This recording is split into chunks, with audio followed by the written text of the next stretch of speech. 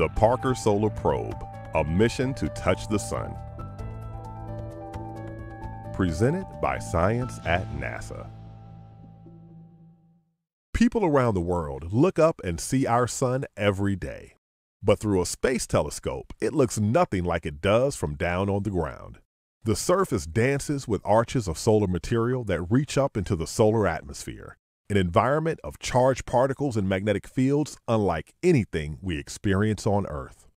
In 2018, the Parker Solar Probe will launch from a Delta IV Heavy rocket and travel approximately three months to take its first swing by the Sun right through that atmosphere.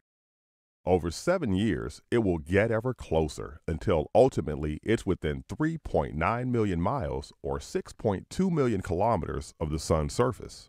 That's so close that the previous record holder, the Helios B spacecraft, was seven times farther away.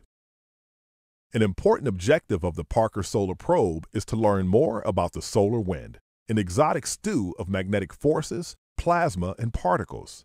It interacts with planetary magnetospheres and atmospheres, which over the eons may have contributed to a planet's habitability. It blankets our spacecraft and astronauts traveling to the moon and Mars. It affects space weather at and around Earth and causes beautiful aurorae. The solar wind also travels at immense speeds, and scientists want to learn why.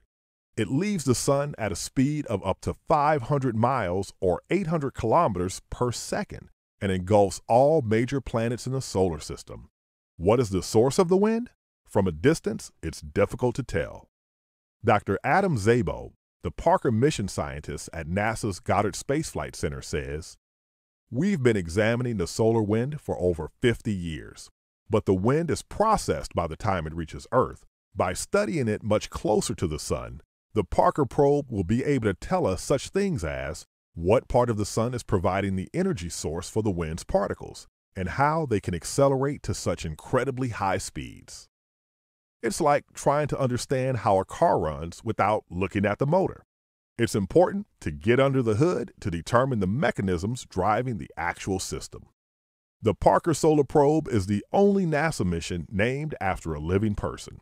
Dr. Eugene Parker, an astrophysicist, is credited with developing the theory behind the solar wind in the late 1950s. When asked why he thinks so many people are drawn to this particular mission, Dr. Parker said, I assume it's the same reason that I got excited about it. This is a journey into Never Never Land, you might say, where it's too hot for any sensible spacecraft to function. But some very clever engineering and construction has succeeded in making what looks like a very workable mission. Clever indeed. At its fastest speed, the Parker Solar Probe will orbit the Sun at 430,000 miles per hour or 716,000 kilometers per hour.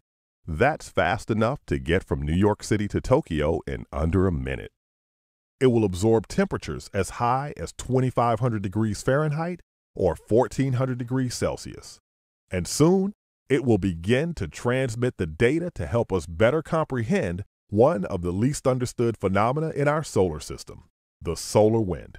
For more illuminating information about the Parker Solar Probe, visit science.nasa.gov.